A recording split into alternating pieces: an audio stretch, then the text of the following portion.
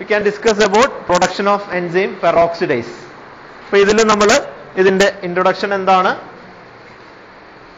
Types ഏതൊക്കെയാണ്? Methods ഏതൊക്കെയാണ്? Applications എന്തൊക്കെയാണ്? ഇത്രയും കാര്യങ്ങളാണ് ഡിസ്കസ് ചെയ്യുക പെറോക്സൈഡ്സ് എന്ന് പറഞ്ഞു കഴിഞ്ഞാൽ കാറ്റലൈസ് എൻസൈമിന്റെ വേറൊരു രൂപമാണെന്ന് നമുക്ക് പറയാൻ പറ്റും. Same like catalase enzyme act ചെയ്യുന്ന പോലെ തന്നെ ആക്ട് ചെയ്യുന്നതാണ്. Which will oxidise variety of organic and inorganic substances like diphenol polyphenol aminophenol ascorbate ferrocyanide ഇങ്ങനെയുള്ള ഹൈഡ്രജൻ പെറോക്സൈഡ് അല്ലാത്ത കുറച്ചധികം കെമിക്കൽസിനൊക്കെ കാറ്റലൈസ് ചെയ്യാൻ വേണ്ടിയിട്ട് യൂസ് ചെയ്യുന്ന ഒരു എൻസൈമാണ് പെറോക്സിഡൈസ് എൻസൈം എന്ന് പറയുന്നത്. It's an haem protein and containing iron three 3 as prosthetic group which are found in higher plants animals and micro organism okay ഇപ്പോൾ ഓക്സിഡൈസബിൾ ആയിട്ടുള്ള സബ്സ്ട്രേറ്റിനെ ഡിസോസിയേറ്റ് ചെയ്യാൻ വേണ്ടി അല്ലെങ്കിൽ ഓക്സിഡേഷൻ ചെയ്യാൻ വേണ്ടിയിട്ട് യൂസ് ചെയ്യുന്ന ഒരു പ്രൊഡക്റ്റ് ആണ്. നേരത്തെ നമ്മൾ പറഞ്ഞ സമയത്ത് ഓക്സിഡേഷനെ പ്രിവെന്റ് ചെയ്യാൻ വേണ്ടിയിട്ടായിരുന്നു കാറ്റലൈസ് എൻസൈമിന്റെ ഫംഗ്ഷൻ ഉണ്ടായിരുന്നത്. ഇത് ഓക്സിഡേഷൻ നടത്താൻ വേണ്ടിയിട്ട് യൂസ് ചെയ്യുന്ന ഒരു എൻസൈം ആണ് എന്ന് മനസ്സിലാക്കാം പെറോക്സിഡൈസ് എൻസൈം എന്ന് പറയുന്നത്. Are different types of peroxidase enzyme അത് ഡിഫറെന്റ് ഫാമിലി ആയിട്ട് പ്ലാന്റ് ആണോ ഫംഗി ആണോ ബാക്ടീരിയ ആണോ അല്ലെങ്കിൽ മാമൽസ് നിന്ന് കിട്ടുന്നതാണോ എന്ന് പറഞ്ഞിട്ട് അതിനെ ക്ലാസിഫൈ ചെയ്യാം. അതിൽ തന്നെ പ്ലാന്റ് സൂപ്പർ ഫാമിലിയിൽ class one class two class three എന്ന് പറഞ്ഞിട്ട് വീണ്ടും ക്ലാസിഫൈ ചെയ്തിട്ടുണ്ട്. പെറോക്സിഡൈസ് എന്ന് പറയുന്നത് ഒരു സിംഗിൾ എൻസൈം അല്ല ഒരു ഗ്രൂപ്പ് ഓഫ് എൻസൈംസ് ആണ്. ഓക്കെ ഒരു group of specific enzymes like N A D S peroxidase hose peroxidase glutathione peroxidase ഇങ്ങനെ ഒരു ഗ്രൂപ്പ് ഓഫ് പെറോക്സിഡൈസ് എൻസൈമിന്റെ ഒരു ഗ്രൂപ്പിനെയാണ് സാധാരണഗതിയിൽ പെറോക്സിഡൈസ് എൻസൈം എന്ന് ജനറൽ ആയിട്ട് പറയുന്നതാണ്. ഒരു സിംഗിൾ എൻസൈം അല്ല എന്ന് മനസ്സിലാക്കുക. കാറ്റലൈസ് എൻസൈം പോലെ ഒരു സിംഗിൾ എൻസൈം അല്ല എന്നുള്ളത് മനസ്സിലാക്കുക. Now coming to the steps involved in the production of peroxidase enzyme as uh, produced by fermentative method it involved four steps selection of microorganism formulation of media production process recovery and purification now coming to the selection of microorganism നേരത്തെ പറഞ്ഞ കാര്യങ്ങളൊക്കെ ഇവിടെയും ബാധകമാണ് ഒരു ഓർഗാനിസത്തിനെ select ചെയ്യുന്ന സമയത്ത് maximum yield തരുന്ന short ഡ്യൂറേഷനിൽ മാക്സിമം ഈൽഡ് തരുന്ന അൺവാണ്ടഡ് ആയിട്ടുള്ള മെറ്റീരിയൽസുകൾ കുറവ് തരുന്ന രീതിയിലുള്ള ഒരു ഓർഗാനിസമാണ് സെലക്ട് ചെയ്യേണ്ടത്. These are some examples of micro organism used for the production of peroxidase enzyme examples for bacteria like pseudomonas aeruginosa then bacillus megaterium examples for fungal peroxidase enzyme uh, flebia aspergillus niger അതിൽ രണ്ടെണ്ണമെങ്കിലും നിങ്ങൾ പഠിച്ചു വെക്കുക. ഇപ്പുറത്തെ സൈഡിലുള്ള നിങ്ങൾ എഴുതിയിട്ടില്ലെങ്കിലും കുഴപ്പമില്ല. ഓർഗാനിസത്തിന്റെ പേര് നിർബന്ധമായിട്ടും ഉണ്ടാവണം.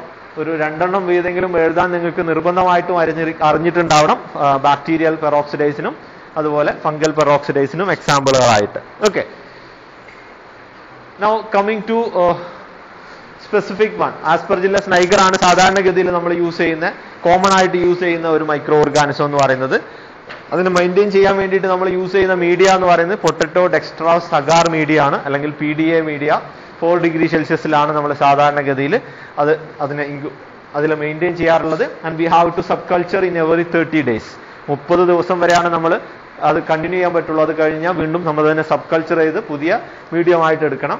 ദെൻ അതിന്റെ ഇനോക്കുലം പ്രിപ്പയർ ചെയ്യണം. സാധാരണഗതിയിൽ ten ten M L of sterilised distil water to spore sporulated five days old potato dextrose agar slant മീഡിയത്തിലോട്ട് add ചെയ്തിട്ടാണ് അതിന്റെ ഇനോക്കുലം പ്രിപ്പയർ ചെയ്യുന്നത്. ഇനോക്കുലം എന്ന് പറഞ്ഞാൽ സസ്പെൻഷൻ ഓഫ് മൈക്രോ ഓർഗാനിസം ആണെന്ന് മനസ്സിലാക്കുക.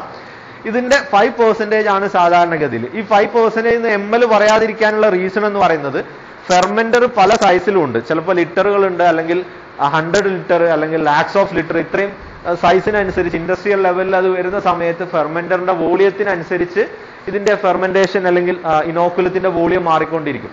എന്തായാലും നമ്മൾ എടുക്കുന്ന കൾച്ചർ മീഡിയ എത്രയാണോ അതിന്റെ ഫൈവ് പെർസെന്റേജ് ആണ് ഇനോക്കുലം സാധാരണഗതിയിൽ നമ്മൾ ആഡ് ചെയ്യാറുള്ളത് okay now this is an example of culture media for peroxidase enzyme by using aspergillus niger glucose yeast extract so uh, ammonium nitrate magnesium sulfate potassium hydrogen phosphate sodium hydrogen phosphate and we have to adjust pH to 6.5 and uh, distilled water up to 1000 ml so that is the media now coming to the production process done by fermentation process usually we can carry out in 100 ml of production media with 5 ml of inoculum 5 percentage നമ്മൾ എടുക്കാന്ന് പറഞ്ഞു and it is incubated at the temperature of 25 degree celsius ഇവിടെ temperature മാറ്റുന്നില്ല 12 days വരെ same ടെമ്പറേച്ചറിലാണ് നമ്മൾ incubate ചെയ്യുന്നത് P H of six point five and with an R P M of one sixty R P M ഈ stirring വളരെ important ആണ് കാരണം ഫെർമെന്റേഷനിൽ ഈ ട്വൽവ് ഡേയ്സ് വരെ കീപ്പ് ചെയ്യുന്ന സമയത്ത് ഏതെങ്കിലും ഒരു സൈഡിൽ മാത്രം ഇത് അക്യുമുലേറ്റ് ചെയ്യാനുള്ള ചാൻസ് ഉണ്ട്.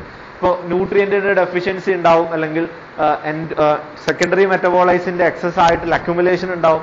അത് അവോയ്ഡ് ചെയ്യാൻ വേണ്ടിയിട്ടാണ് നമ്മൾ ഷേക്കേഴ്സ് അല്ലെങ്കിൽ റോട്ടറി ഷേക്കേഴ്സുകളൊക്കെ നമ്മൾ ഫെർമെന്റേഴ്സിൽ ഇൻക്ലൂഡ് ചെയ്യുന്നത്. One sixty R P M വരെ നമ്മൾ ആർ ട്വൽവ് ഡേയ്സ് വരെ സ്റ്റിർ ചെയ്തുകൊണ്ടിരിക്കുക എന്ന് പറഞ്ഞു okay and finally recovery and purification normal ആയിട്ട് നമ്മൾ റിക്കവർ ചെയ്യുന്ന അതിന്റെ ഡെബ്രിസിനെ റിമൂവ് ചെയ്യാൻ വേണ്ടി ഫിൽട്രേഷനോ സെൻട്രിഫ്യൂഗേഷൻ വഴി ആദ്യം തന്നെ നമ്മൾ ഫസ്റ്റത്തെ സ്റ്റെപ്പ് എന്തായാലും അതായിരിക്കും. ഒന്നൊക്കെ ഒരു ഫിൽട്രേഷൻ ഉണ്ടായിരിക്കും അല്ലെങ്കിൽ ഒരു സെൻട്രിഫ്യൂഗേറ്റ് ഉണ്ടായിരിക്കും.